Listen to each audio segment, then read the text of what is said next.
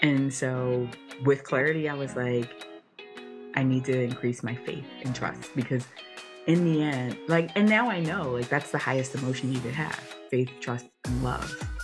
Not happiness or contentment. Those of faith, trust, and love are a much higher vibration than being happy. And so, what does it look like when you walk on faith on, and saying, This could be my path? It may not be clear to me, mm-hmm. But I know what tomorrow will bring.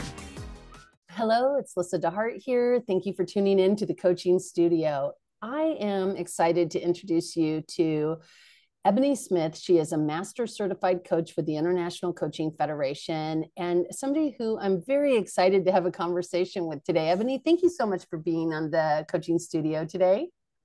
Thank you so much for having me. I really do appreciate the time we're going to spend together today.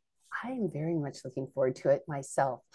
Well, as you know, one of my first questions is I'm always fascinated by the origin story of how somebody ended up, like through their career, ended up becoming an MCC coach and, and being in the seat that you're sitting in. Um, how did you, how did we end up here together in this, in this moment? Okay, so bear with me. I'm going to give you a little bit of a beginning. Beautiful. It all started in 2014. In 2014, I decided I was going to actually use all six weeks of my vacation that I had. In my what? I'd never done it before. I was like the habitual two or three week carryover. I did a bit of hiking in the Andes, and then I also decided my number one bucket list place was going to Bhutan, and I was going to go do some hiking in the Himalayas. And for the first time in my career, I was taking a 21 day vacation. So I convinced some girlfriends to go with me. And so we we're a group of five, and we hit like a few we hit a few countries, but ended up spending about 10 days in Bhutan, hiking and meditating, and just me being out of breath and throwing up from the altitude. But it was fantastic. I came back really clear in who I was, not knowing that I was getting prepared. Mm. So that was mm. November of 2014. Fast forward to January 2015, and my company had been asking me to relocate, and I said no and then they made it an ultimatum. Oh. And for the first time, I had so much clarity from like the hiking and the the rest um, that I picked me. I said I'm gonna take a bet on myself, and it came with a non compete period where I knew I needed to be home, uh, and I'd be out of the workforce for a little bit. And on that first mo- Monday morning in 40 years, when I had no place to go for the first time in my life, because I even had preschool before then, right? Um, I was like, I need help.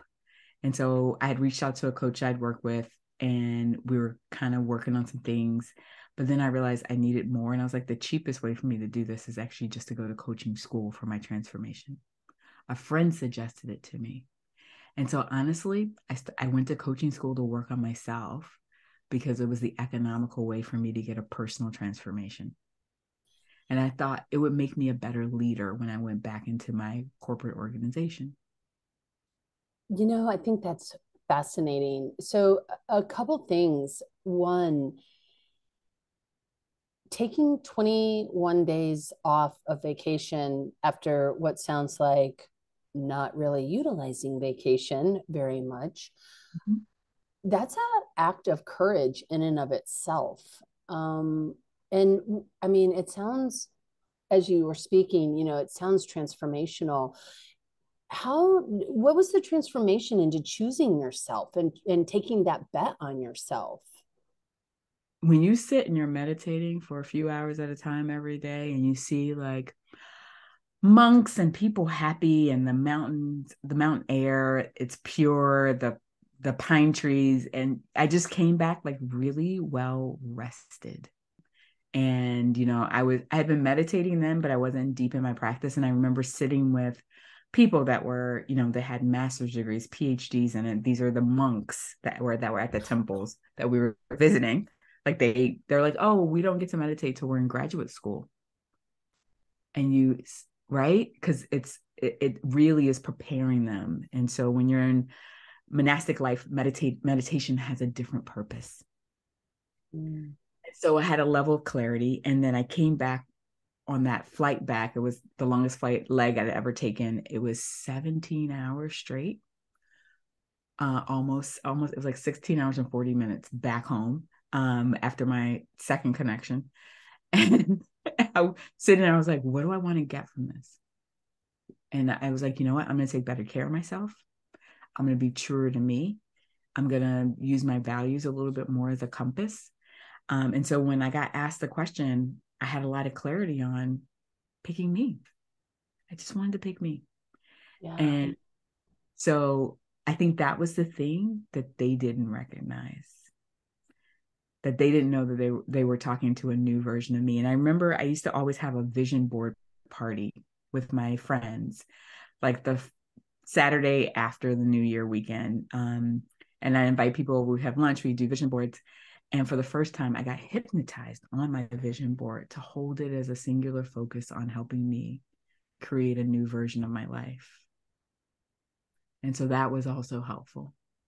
Yeah, I'm really hearing like this like intense awareness and focus towards this new really new vision of how you want to be in the world and uh, and so I hear you go into coaching school because it's going to make you a better leader within your organization, who at this point has no clue who you are because you've changed so radically in a month. Um, and and what transpires that has you go i forget about uh, this isn't just about me working on me i mean that's an element of it but i like i like this well i think in uncertainty you can get curious and so during that period when I was in that leave period, I just got curious. What are the things that I liked about being in an organization? What were the things that I that made it harder? And I thought, okay, if I go to coaching school, it's going to make me a better leader. That mm-hmm. way, the things I liked, which were working with um, more junior members of the team or supporting peers, that I'd had the opportunity and I'd had better skills to engage with them deeply. Right. And so I was at the point where I always say in organizations, there's two types of people. There are the people who make the revenue and the people who account for the revenue. And if you go beyond a certain point, the only thing you'll ever do is account for it. And I was still at the making it and managing teams level, at the kind of at the, the global director level. And so I enjoyed that part of really understanding our business and what we were doing and making relationships. And so, how could I do that better and deeper? Mm. So I wanted that in my next role. And so coaching school was going to help me build out those relationships. Well, and and not to deviate too much here, but that's a really important concept, which is coaching makes a better leader. Mm-hmm. How do you see the leadership being a leader being impacted by for, not that they need to ever become a coach like this is my full-time gig or anything like that, but how does how does coaching development and coaching training help a leader be a better leader? It taught me how to listen. I like so many people and coaches know you think you know how to listen, but you really don't, right? And so somehow the world shapes us that we're we're waiting for people to stop speaking. And when you're in coaching school, you realize, oh, I really don't know how to listen. It's one of the first skills they teach you, in addition mm-hmm. to how to ask really great open-ended questions. Yeah. It was funny. I was just having this conversation with somebody yesterday because they're like, um, you know how do you how do you stay in a state of non-attachment to the outcome for the client and i think that this is really kind of integrated into that also in the sense of we are taught to tell we're taught to solve for and that that capacity to sit in the space of and just hold the space and deeply listen to another human being as they're communicating whatever it is that they're communicating is such an important skill set. And I think like in coaching schools, one of the things that I see happen because it's a skill we aren't apparently if we're born with it, it's cultured out of us. Um, so so you know however we get there um, we end up learning these kind of speaker listener techniques right? Like ebony i just heard you say x y z w l m n o p and and in that way i'm reflecting back to you. And i think there's also that trans transformation as we learn to listen at a deeper level where we're not just rote reflecting back to you what i just heard you say but rather listening to more of the key elements and i think that's so crucial that you bring that up for for leaders for coaches for human beings in relationship with other sentience in the world mm-hmm. you know i think probably that was one of the the the things that i realized and realized then and that i realized the more now um, people oftentimes want to be heard. And the way you can respect that, even when you disagree, because sometimes we have to listen and signal receptiveness, but not agreement. Like, I'm mm-hmm. receptive to the words that you're saying. In no way do I agree with you. Absolutely. But, right? and but so I hear you. I hear you, right? And I can I can acknowledge and summarize and do all of those things that you're asking for and ask probing questions mm-hmm. that also don't signal agree uh, that I'm agreeing, but also signal my receptiveness. And I think it's in that listening that great relationships are built. And so those are the way, those are the skills that I was grateful that I was acquiring. Because I was like, oh, right away, this has applicability to real life. Yeah. And, you know, I remember my first peer coaching sessions, and I actually was getting a, um, my person was someone who was transitioning out of being a psychiatrist and transitioning into coaching. Uh, and I was like, and so our sessions, because they were Ivy League educated psychiatrists, and they're like, I want to take a break from trauma. Yeah. I want to see what it's like to help people make a path forward and not help them clear a trauma that they've gone through. Because yeah you know, my peer coach at the time, she's like, I've heard, I've heard and seen things that that I would be okay if I didn't know, but I'm grateful I was able to help the people I was working with. Mm-hmm. And it would be nice to help people build lives. And so, and so, yeah. And I was surprised though, like you, other people, how many people in my class were therapists or we had just had the one psychiatrist, but I have friends that she's like, I was a therapist. She goes, I enjoyed therapy, but I enjoyed this part more. Yeah. Yeah. I mean, I, I, we could go off on a whole tangent, but that would be not about you. So we're not going to. Um, but, but, but yeah. But, but that was one of the things like, what does it look like to deeply listen to other yeah. people and ask great questions and help them come up with a plan that moves forward? Yeah. And so it's inside of that practice and that um, level of upskilling, reskilling myself that I thought if I was ever going to do this full time, when would I do it besides now? Yeah. Because putting it off, I mean, off and away and over there, it's just at some point your tomorrow self is going to look back and be like, why didn't I start this earlier? Mm-hmm. And so with clarity, I was like, I need to increase my faith and trust because in the end, like, and now I know like that's the highest emotion you could have faith, trust, and love. Mm. It's not happiness or contentment. Those of faith, faith, trust, and love are a much higher vibration than being happy. And so, what does it look like when you walk on faith on and saying, This could be my path? It may not be clear to me, mm-hmm. but I know what tomorrow will bring.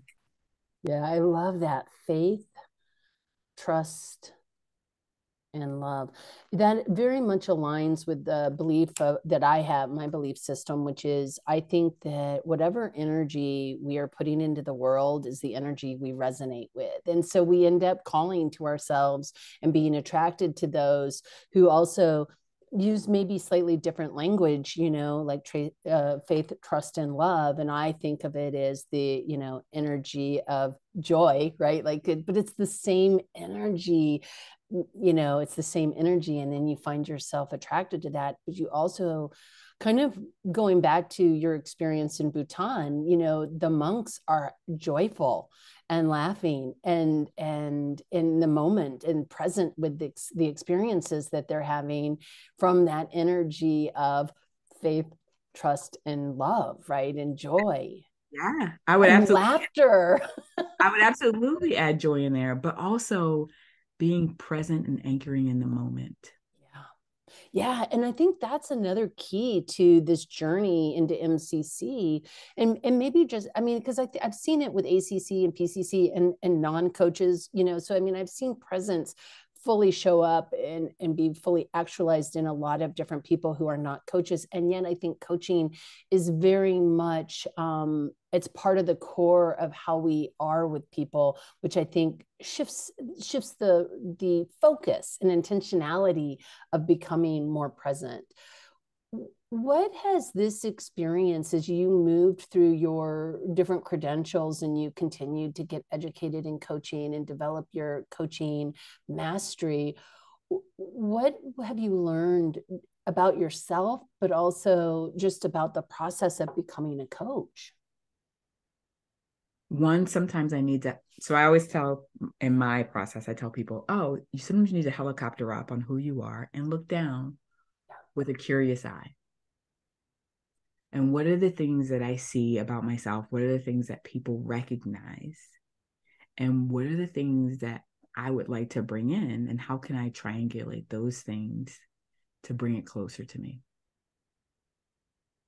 Yeah. And so it's in that, like, being an observer in my own life, right? Stepping away from ego and saying, if I was to look down on me, what would the what would I say about my day?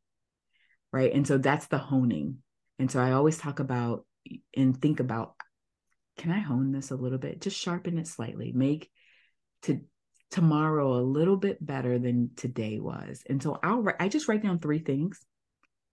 Like that was my top three. And if i could think about what i would do to make tomorrow better and i regress. I mean everybody regresses. We're human. We're human. And sometimes i i willfully and joyfully regress I want the cookie. exactly. I'm going to lay in bed today. I'm, and I'll be like, you know what? I'm going to lay in bed today, or I'm going to take a shower, put on sweatpants, and I will be on my couch. Um, and I will catch up on everything on HGTV, or I'll binge. joyfully joyfully put lasagna in the oven and have a salad and because I'm gonna eat that lasagna all day because um, I don't want to cook again, and just like relax, right? And so knowing that sometimes that I'm waking up and deciding that because before it would just happen, mm-hmm. but now I make appointments with myself and I set an end time, yeah. right? And I'll be like, oh yeah, I'm gonna lay on this couch all day and eat this, but I'll make an appointment to meet friends maybe at like six thirty so I know it's like my seven to six thirty thing, and then I'll get out. I'll be social. I'll people. I call it peopling. I'll people for a while, and then you know it was a it was a great day for me, and so I think it's in the actualization and really being conscious of making those choices. Sometimes we make those choices and it's unconscious because we wiped ourselves out. But other times when you have that level of awareness and you can move beyond ego and be like, you know what?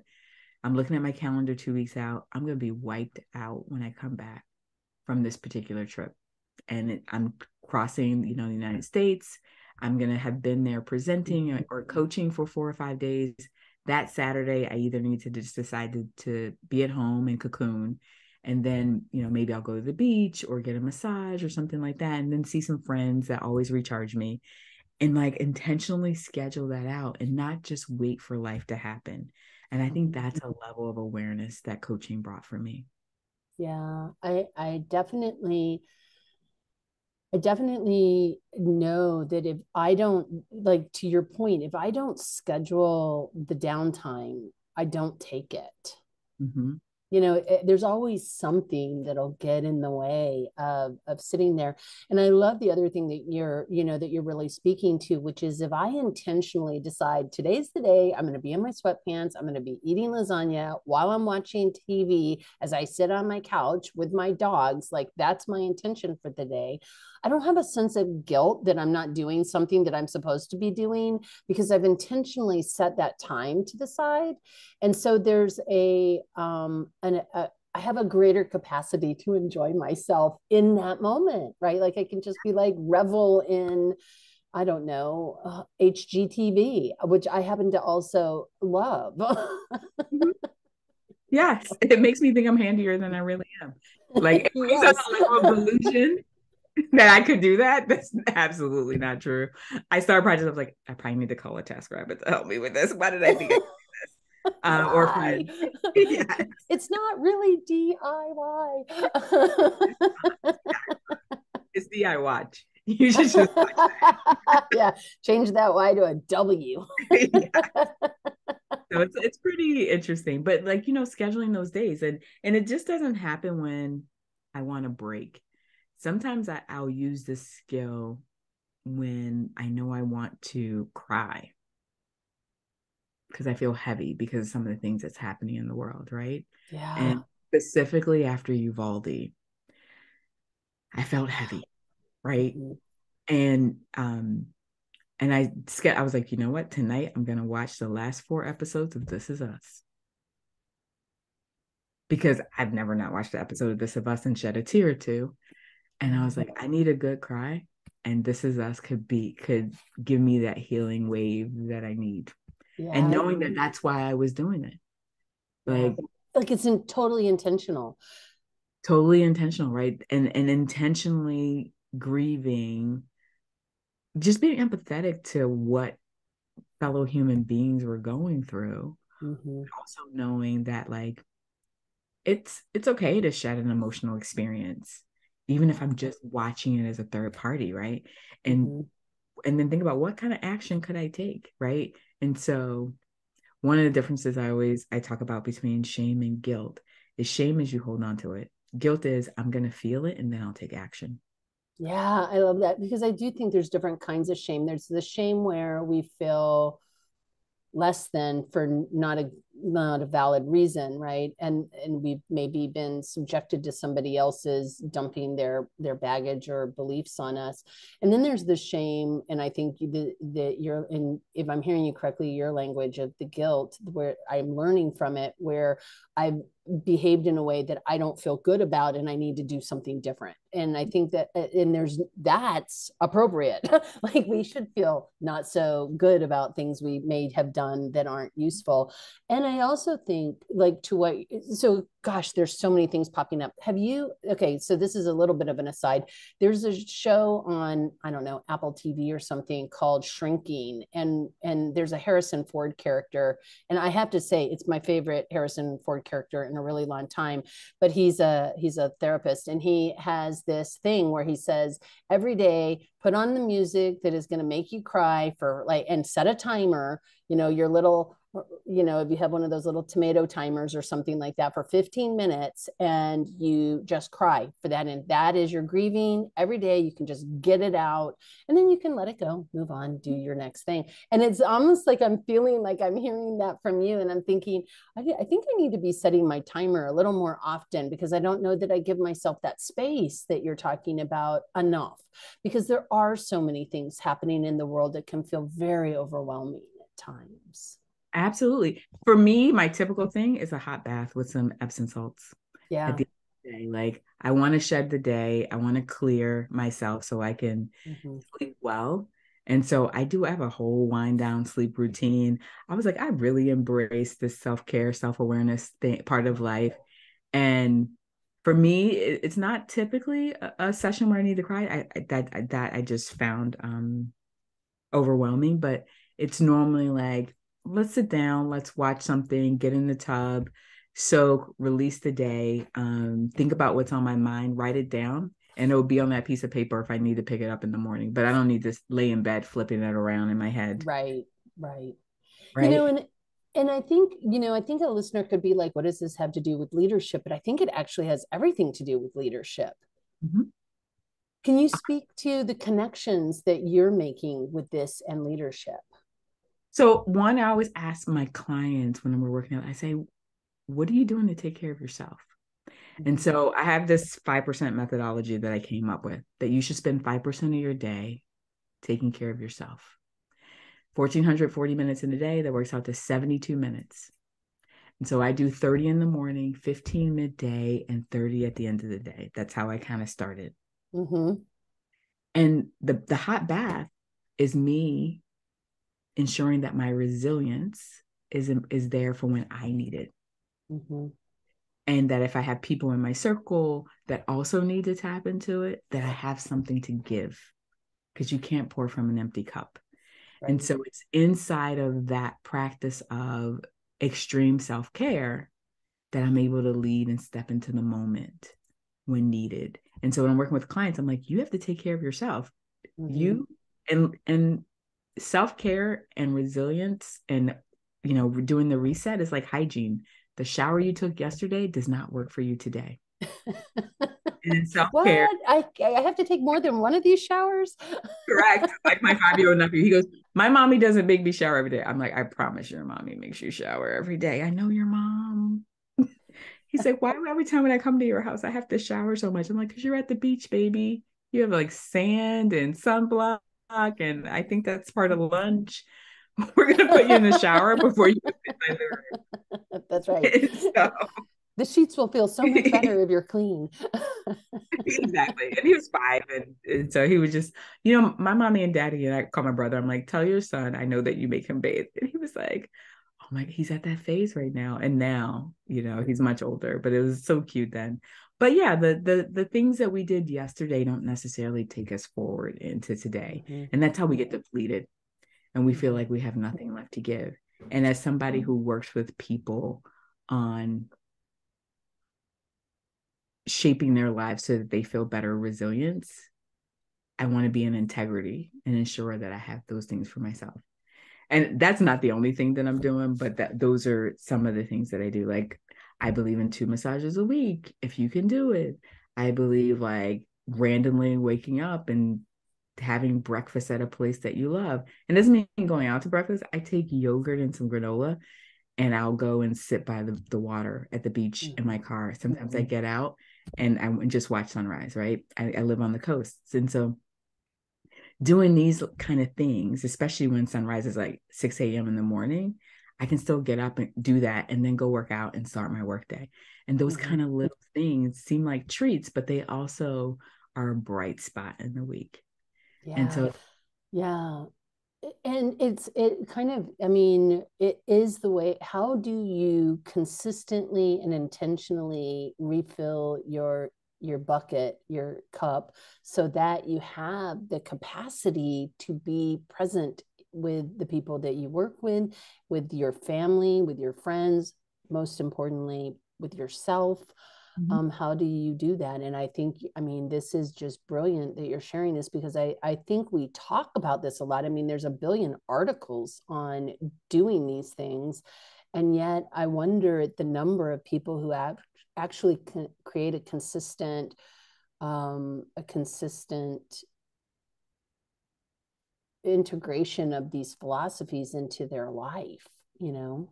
Yeah mine's everything from like I have a candle going. What's the scent in the room? Sometimes it's, it's a diffuser going. Um, I have a playlist, and I I just use the the ones that are already pre curated, but they'll be like, oh, feeling happy, writing email, waking up in the morning playlist. Right? You don't have to overthink it. I have personal ones. I'll let AI also create a radio station for me. But like, is music on? Mm-hmm. Like those kind of little things, they matter. And so just being paying some attention and taking two seconds to play some music or to, you know, have a good scent in the house or boil some lemon on the stove in water, all of those things add to me just having a little bit of a richer, more nuanced day that's layered. Yeah. Yeah. And so what does that look like for me? Right. Because yeah. I mean, there's joy in even getting laundry done quite frankly. Right. Well, I mean, anything you do. I used to, I used to do uh, a lot of couples therapy, and people would be like, "We never spend any time together." I'm like, "Well, you can make going to Lowe's for all those DIY projects that you're doing. Um, you can make going to Lowe's a date. I mean, it can be fun. It doesn't have to be just drudgery." So, um, I think that's I think that's also sort of a mindset, and I think that was the other thing that I really was as I was, um, you know, looking at our conversation coming up and and that sense of the mindset that one is adopting in order to be able to show up in the ways that they're needed to show up. Yeah I, I you know i think figuring out some easy things you can do and then you just hit those and integrate it in and then you normalize it and then maybe you add a couple more things. Yeah. that kind of yeah. like work like if you're gonna watch the food channel make the food. Yeah. Yeah. Right? One of the best ways for you to be inspired is actually make the dish that they're cooking. And so what does that look like if you were to make something or cook anything right? And so i think that's part of for me it's like the joy also you know during the pandemic when we're in the throes of it it also helped me bring order to the day Mm-hmm. Right. Because I'm like, okay, when you're under duress or stress, what can I do to bring myself to my own center? Well, I like baths, we'll make them longer. Mm-hmm. I like taking a walk. I can do that by myself without seeing people. I like going to the beach and I, you know, our beaches were closed at one point. Then I'll just go and sit in the parking lot mm-hmm. and eat breakfast. I still get to look at the water. I still get to do whatever. Right. And so those are the things that I kind of went to to just make it happy and figure out like what can I do to get myself through it. The playlist also really, really helped me.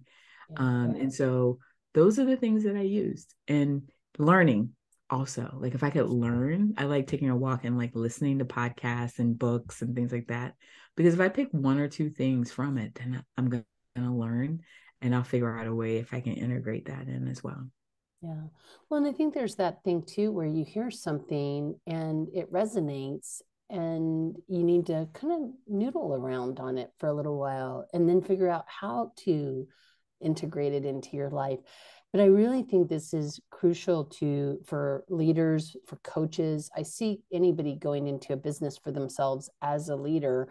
Um, but for you know, and so for coaches, and I saw this when I was a therapist also, but uh, the number of people who are very good at giving ideas to people, you know, like we need to have like these mindfulness practices in order to have this fulfilling life, who don't actually practice it for themselves. It's sort of like coaches who don't have a coach or aren't in some mm-hmm. form of supervision for their coaching or, you know, or you know leaders who live in a silo and they don't get any feedback from the people around them and they're you know in this sense of i'm not happy in my life yet i'm supposed to be good at what it is that i'm doing. And i, I find that uh, very interesting that that we know and yet don't practice what we know could be useful. Um, you know one of the things that it talks about you know that you talk about is this idea of leaving behind subject matter expertise and and really showing up um, in that kind of open mindset. And i'm curious because i think we kind of talked about like learning to just listen is a big part of that earlier in the conversation but like what what allowed you to let go of that subject matter expertise? Because our culture many cultures not all but many cultures drive us towards becoming these called these experts at like i'm an expert at blah blah blah.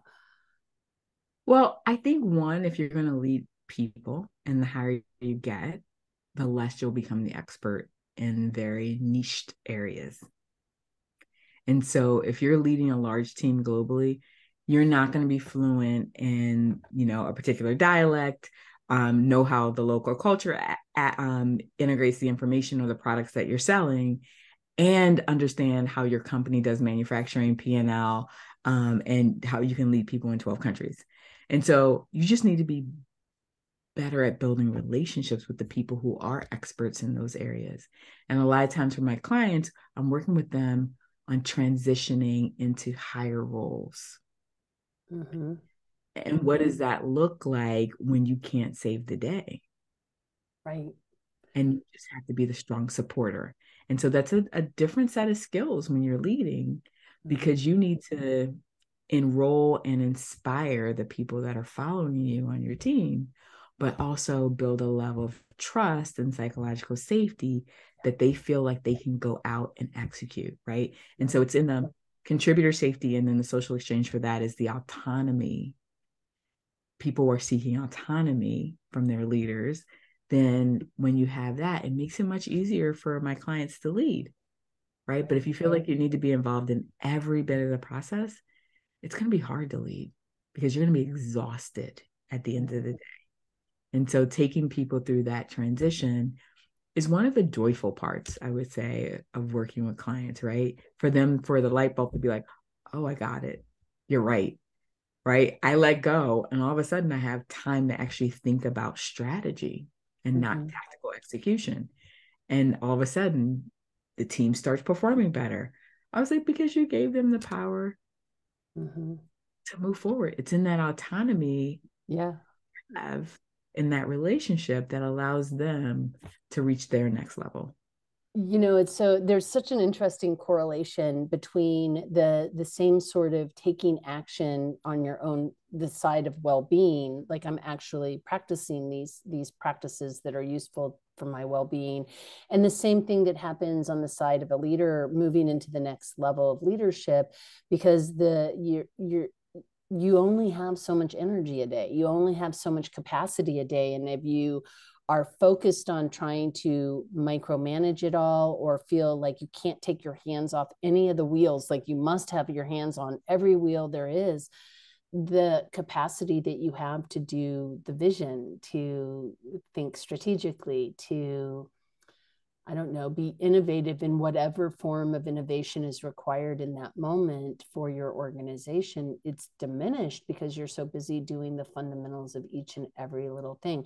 And I think that's a struggle too, as people are building a coaching business um, in that we start off not making much money doing coaching, you know, and we're struggling to create a business. And so our first thing is we do everything like we learn how to make a website, we learn how to like post to YouTube, we learn how to, you know, keep up on buffer or whatever our social medium, you know, output thing is. And we you know we're constantly trying to do it all ourselves. And i think there's something here too depending on how you want to grow your business and what kind of business you want to have very few of us do it alone. We we need these relationships of these other people who are experts at something that we don't then don't need to spend hours learning. Because yeah. they already know it or have learned it. And i think back to where i was you know seven years ago versus where i am now and yes, sometimes I check my my company social. I was like, oh, what did we post today? Yeah, it's not. What have I said? my team did a great job, and they'll take a clip from a podcast. Or I heard you say that when you were teaching a class. I thought I'd make it a social media quote. And you know, they think of things and see things that I don't see about myself because it's really hard to read the label on your own jar. Because I'm in very hard to read your label. And so, you know, they'll have ideas and I'll be like, oh, do you think? They're like, yes.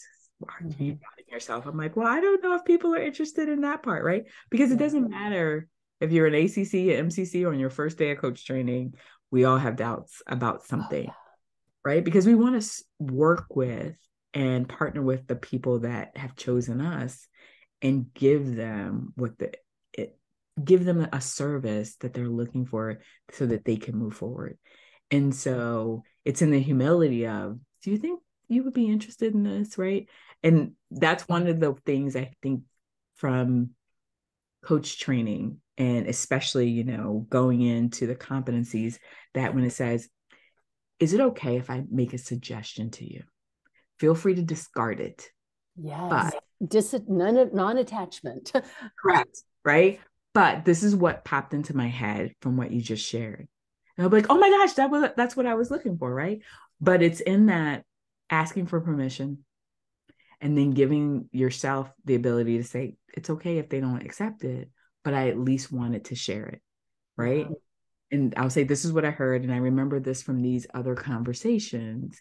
I think you have the pieces of the answer that you've been looking for.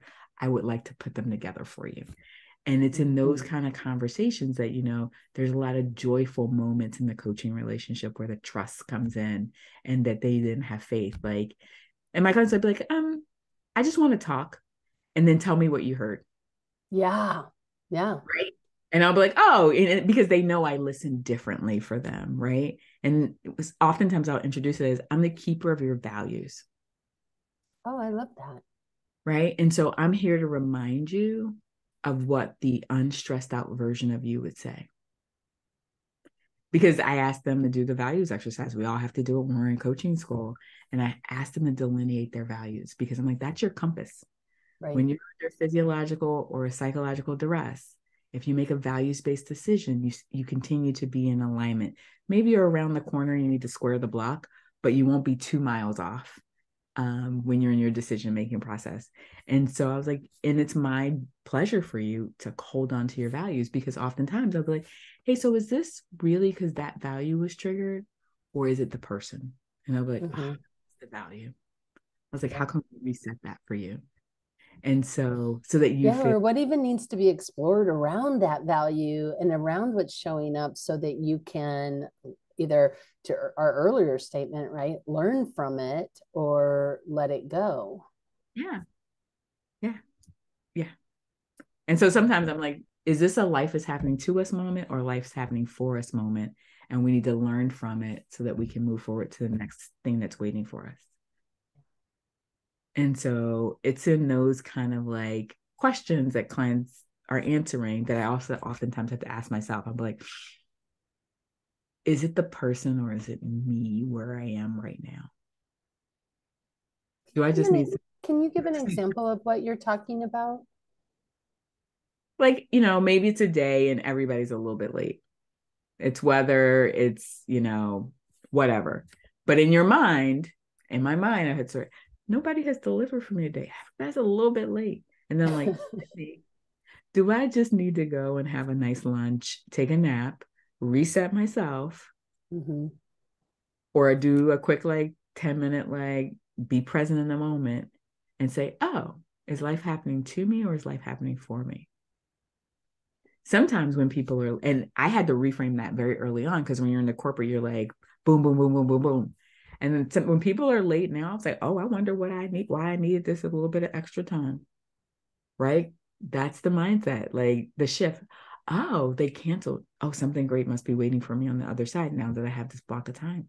Yeah i can get something else done. Yeah, i can get something else done. Right? I, I can you know there's an article i want to read that i can listen to this and do whatever, right? And so sometimes I just ask myself, is life happening to me or is it happening for me? Yeah, I think it's a I think it's a really useful construct for us to be considering because because the attitude of it's happening to me is definitely one of i'm being victimized by whatever this is versus uh, for me which is what do i have to gain from this? What is the lesson? What is the opportunity? What is the whatever right? I love the distinction between the two. Yeah and so just be like oh there's something else on the other side of this. I just need to be present and navigate it.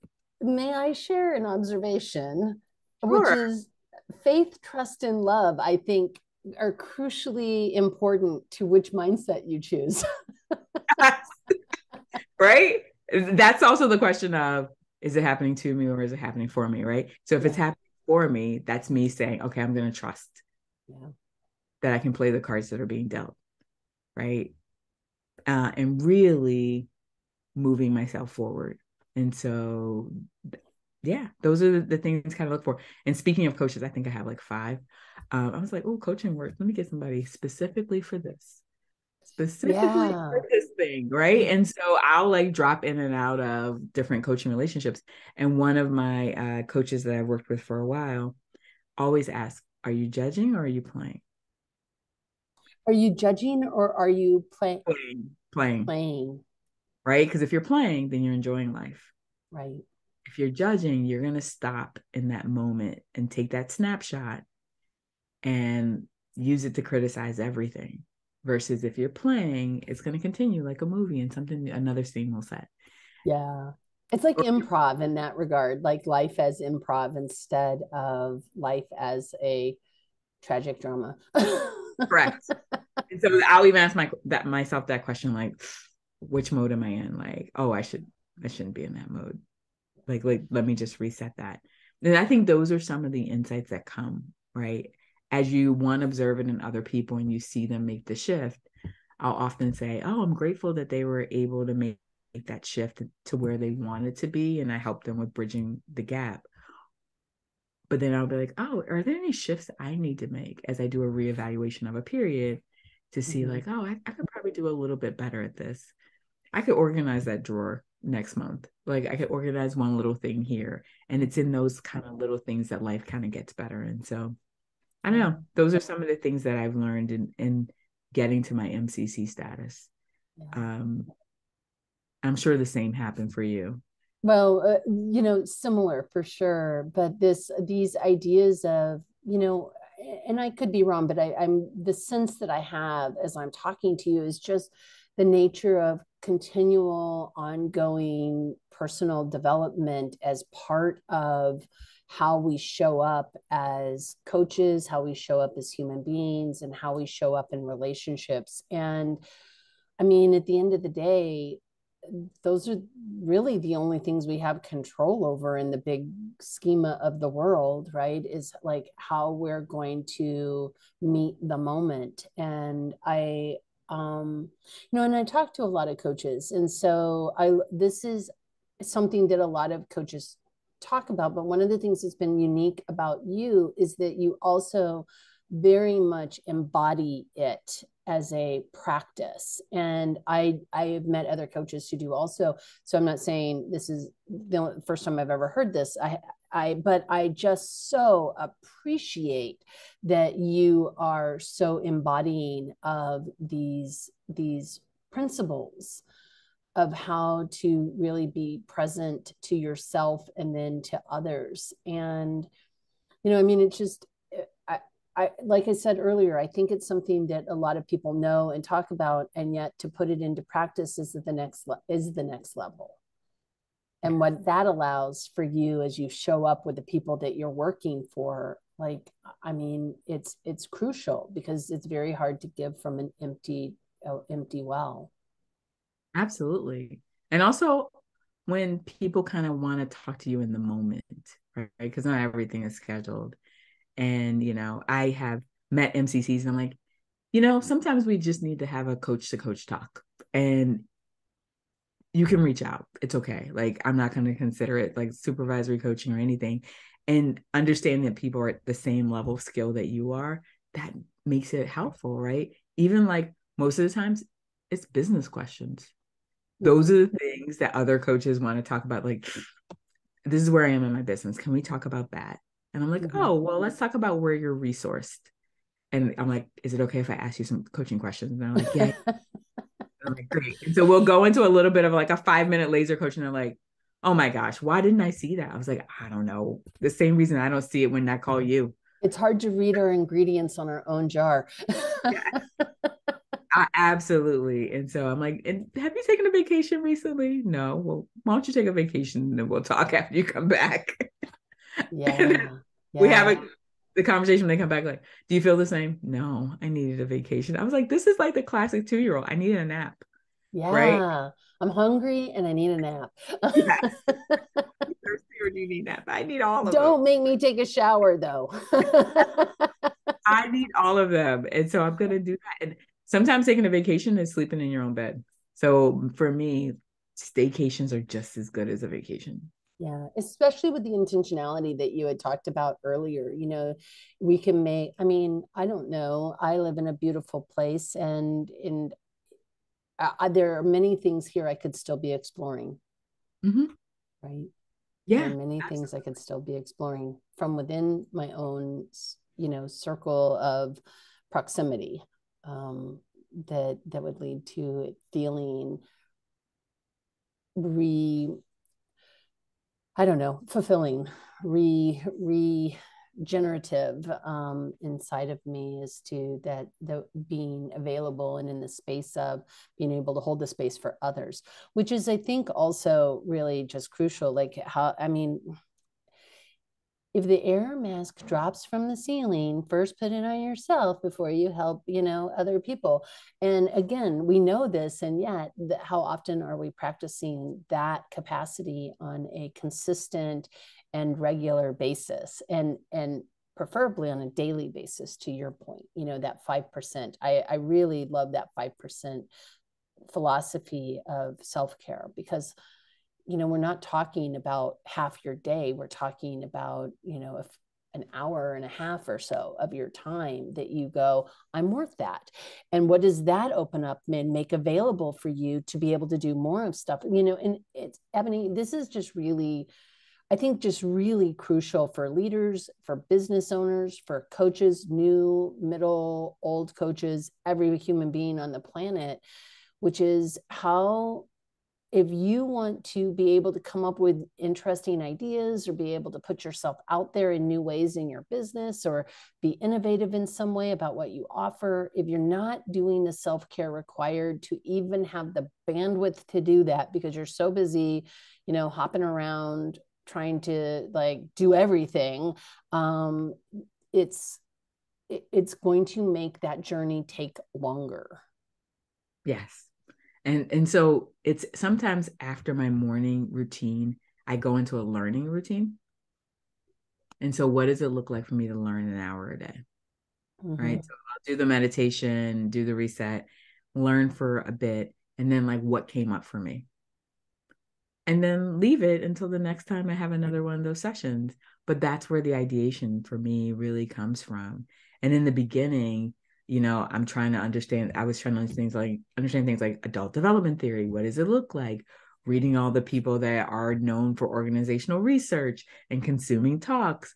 And i think that's really where it came from mm-hmm. right like i want to be able to give people factual things things that have been researched things that are an intuitive hit to help them with what could align with them and as they build as they close the gaps for themselves. And i think that's a lot where the learning kind of uh, flow came from.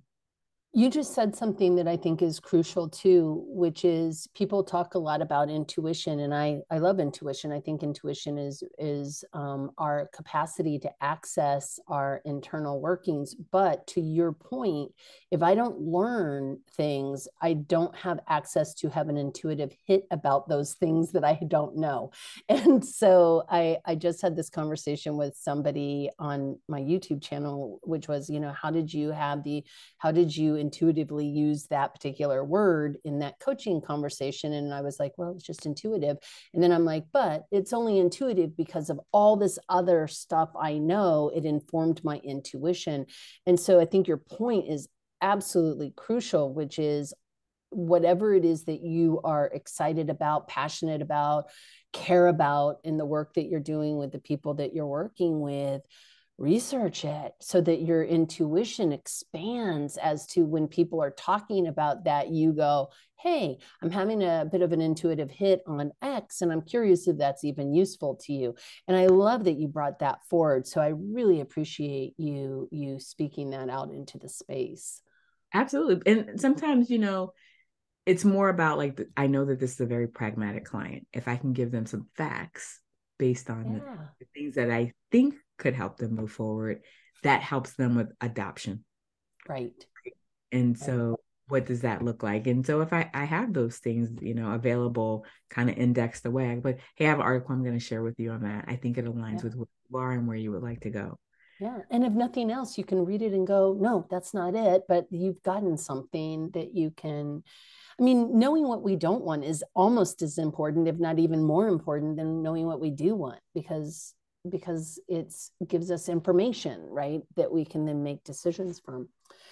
Oh my gosh, this has been just a delight to talk to you today. I feel like I could talk to you for a lot longer. This has just been beautiful. Um, and I just love your energy as we're talking. You're very calming for me for um I feel very like I was regenerated in the conversation. So I really appreciate this. Um, as we go to a close, I typically ask everybody, and I'd be very curious what your answer to this is, is if you were writing your your autobiography in this moment today, what would you title it?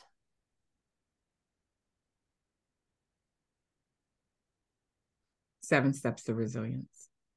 Seven Steps to Resilience. Yeah. Beautiful. I think I focus a lot on resilience and what does it look like. And it comes up a lot for me when I'm working with clients in my practice. Yeah. And really like, are we do am I doing the things to get me there?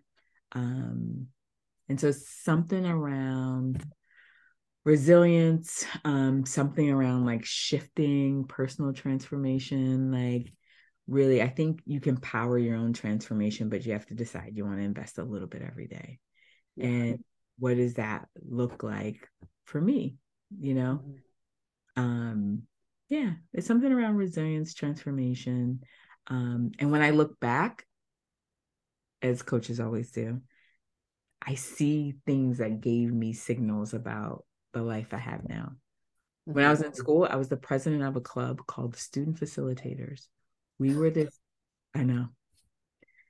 It was in high school. You just can't make this stuff up. yeah. We were the group that was a club attached to the guidance counselors. And at lunchtime, we would take turns manning shifts to help people with their college selection process and suggest schools and let them know about um, speakers that were coming from some of those schools and then help them get appointments with the guidance counselor and stuff like that. And I was like, I was a student facilitator, I was a resident advisor when I was in college, all these things. And I was like, but I went to school for chemistry. well, there is the inherent um inherent appreciation and enjoyment of an experience and then there's what we think we're supposed to do so you know sometimes yeah. it takes a little bit of time for those two things to to merge. Yeah. So um yeah i yeah i i think it's always sort of being aware but not being intentional about the power of resilience and transformation in my life. Yeah. Yeah that's beautiful. Thank you so much for being on the show. Just for all the listeners who are listening, um, you can find links to Ebony below and go to the website. You can capture the transcript if you want. And thank you again, Ebony, so much for being on the coaching studio today. Thank you so much. I appreciate our conversation.